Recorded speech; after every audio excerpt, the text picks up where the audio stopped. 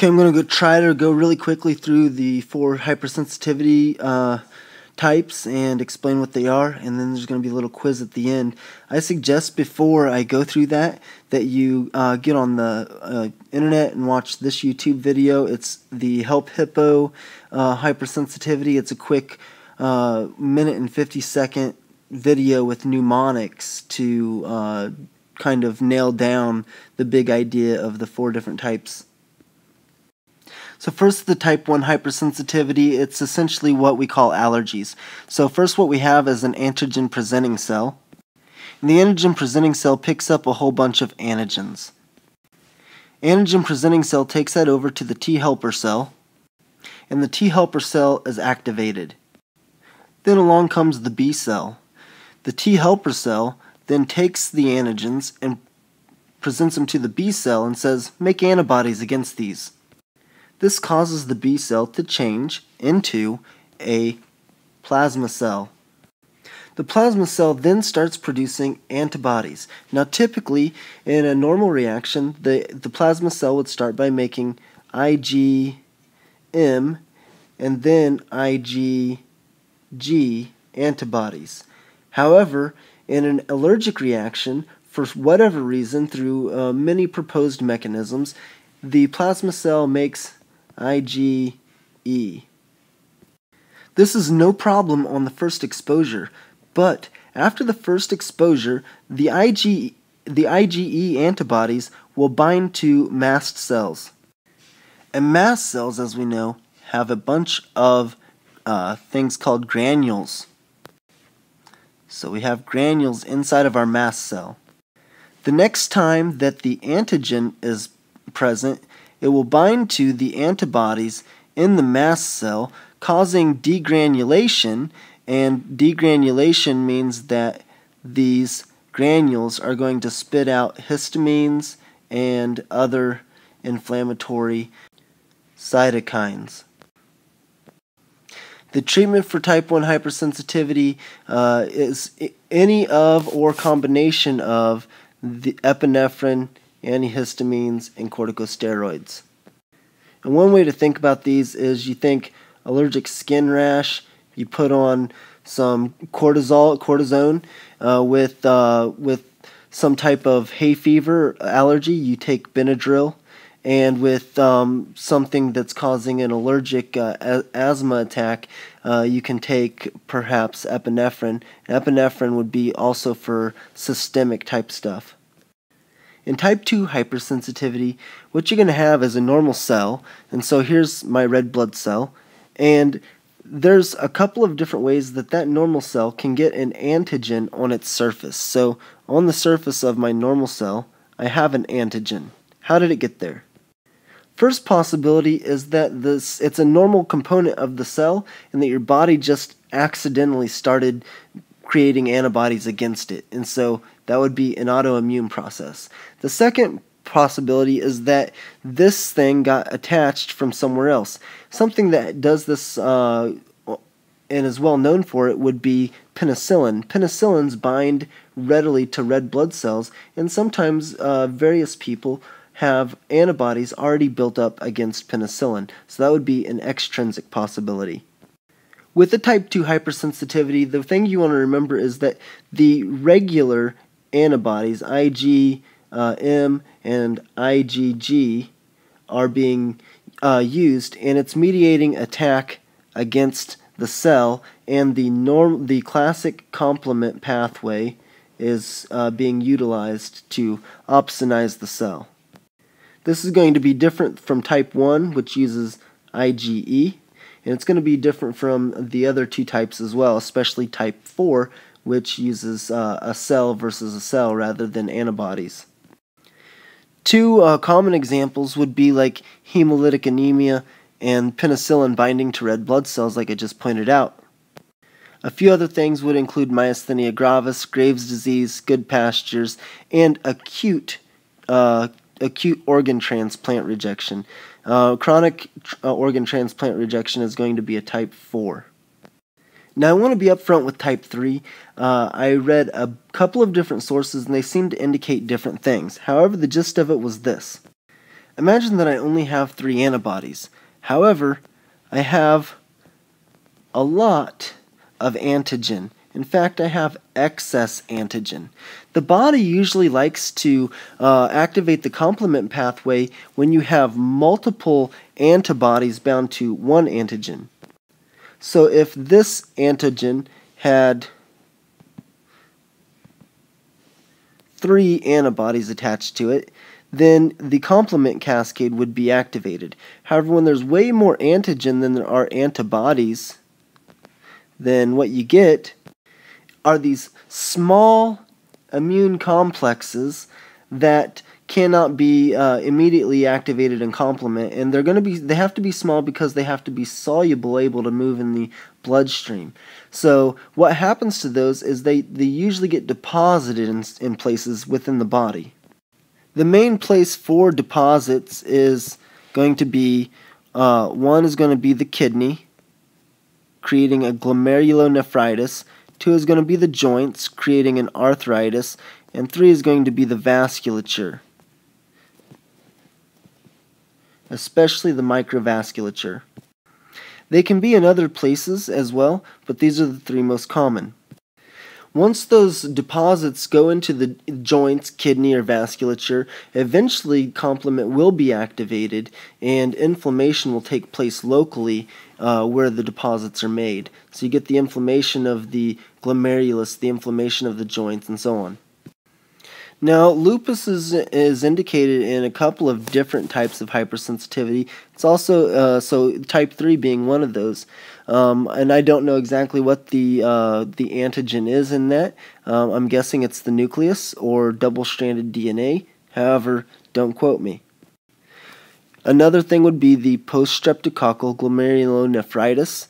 Uh, you can get reactive arthritis, serum sickness, uh, there's something called the Arthus reaction, and you may be familiar with it if you watched the Help Hippo video that I uh, pointed out at the beginning of this. And just like I said, the, the process, the three main processes for type 3 are necrotizing vasculitis, glomerulonephritis, and arthritis. Now, what sets this apart from type 2 and type 1? Okay, so again, this is different from type 1 because it's not using IgE it is using IgG and IgM. So in that way, it's much like type 2. It's different than type 2, however, because it's small immune complexes. In type 2, we had cells, which are large. If if a, an antibody and a cell bind, it's automatically a large immune complex. Uh, so type 2 is cells, type 3 is small. And the other thing about type 3 is typically there's more antigen more antigen than antibody. So the antibody gets overwhelmed and can't make the can't activate the complement cascade. I was thinking about trying to draw this out for you, but it's going to take me a little bit longer and it'll make the video longer if I do, so I'm just going to go through the steps. Now type 4 is delayed, and it's delayed because it's not mediated by antibodies. So all of the other types use antibodies. This is going to be cell mediated. So what happens is first, just like in uh, every other time, the macrophage is going to present an antigen to the CD4 T cell on the MH, uh, MHC class 2. And at that time, the macrophage will start uh, secreting interleukin 12. This stimulates the proliferation of the T cell, and then the T cell will secrete interleukin 2 and interferon gamma. This uh, uh, this induces the T cell, the, the helper cells, to release cytokines. Cytokines mediate a response which includes activating a cytotoxic T cell, and then the activated cytotoxic T cell will destroy the cell or the specific target, i.e., the antigen.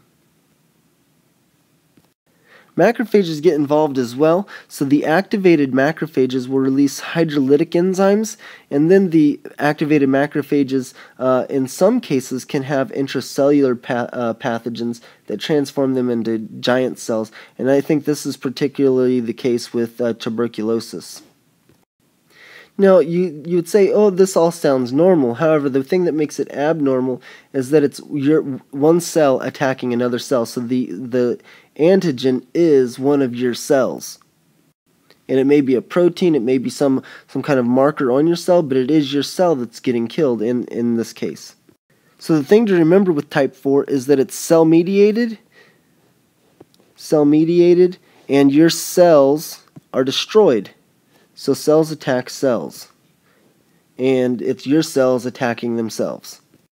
So a couple of diseases associated with it. So type 1 diabetes, the, the pancreatic beta cells um, are are being attacked, and it's uh, could be one of the cellular uh, proteins. It could be insulin itself. It could be glutamate carboxylase. A bunch of different theories on what is uh, being uh, what is the antigen in this case, and it could be that all three of those are true just in different people.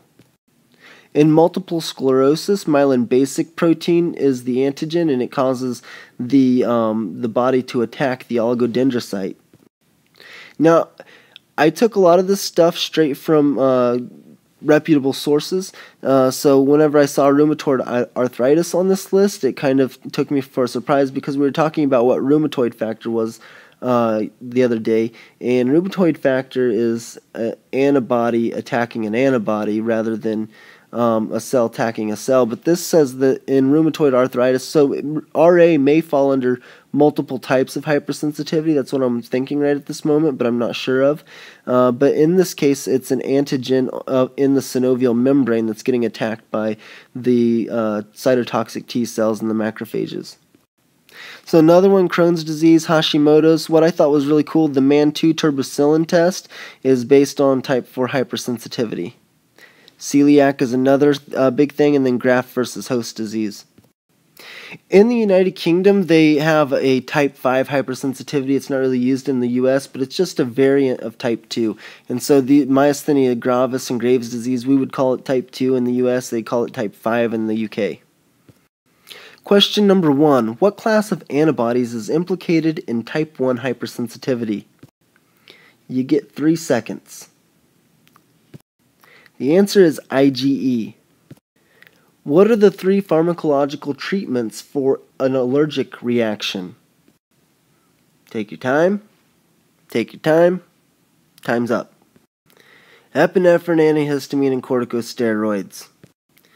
Type 2 hypersensitivity. Name two ways antigens can be present on the surface of a self cell, i.e., how can an antigen be present on the surface of a red blood cell? The answer is it can be intrinsically or extrinsically, i.e., the body accidentally creates an antibody against it or it gets attached, like in penicillin. I didn't cover this, but I think we probably know the answer. Type 2 hypersensitivity, what test or tests would you perform to determine if a type 2 hypersensitivity was attacking red blood cells? Think about it. You know this. You think about it. That's right, the direct and indirect Coombs test. An autoimmune hemolytic anemia? You got this. Type 3 hypersensitivity. Name three places that are primarily implicated in a type 3 hypersensitivity. Three places in the body. The first one is, the second one is, and the last one. You guys are all wrong. It's the joints, kidneys, and vessels. Name an autoimmune disease that is considered to be a primary factor in type 3 hypersensitivity. If you remember right, I said, I have no idea how this works, and I still don't, but I know what the answer is. You guys are good. It's lupus. Rhymes with poopus. What bodily components mediate type 4 hypersensitivities? I really couldn't think of how to ask this question, but by components I mean, besides an antibody, what mediates a type 4 hypersensitivity? I think I gave that one away. You guys are right. It's the cells rather than the antibodies. All right, guys, four questions in one. This is the last one. What type of autoimmune, what, what type of hypersensitivity is it? Crohn's disease, hemolytic anemia, post-streptococcal glomerulonephritis, and hay fever. I'll give you a second. I'll give you a little bit longer on this one. I'm going to stop talking now. Just think about it. Okay, it's hard to stop talking. But it's been 28 seconds.